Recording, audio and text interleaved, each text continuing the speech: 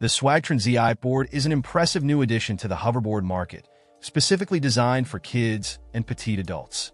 Priced at around $280, this unique device offers a fresh take on personal transportation, reminiscent of a one-wheel.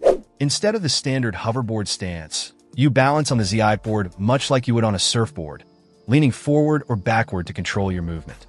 This design could prove to be less intimidating for beginners, making it easier for kids to learn how to ride compared to traditional hoverboards. One of the standout features of the ZIPboard is its lightweight and portable design.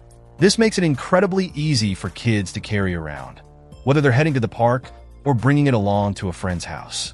However, it's important to note that the weight limit for this board is 160 pounds, which means it's primarily geared toward younger riders or smaller adults.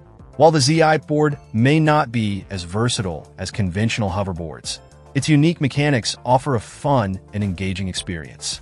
The grounded feeling it provides can enhance a child's balance, which can be beneficial for other sports and activities they may participate in. It encourages kids to improve their coordination and confidence as they navigate the board. In conclusion, the Swagtron ZIPboard is an exciting alternative for kids who are eager to try out hoverboarding.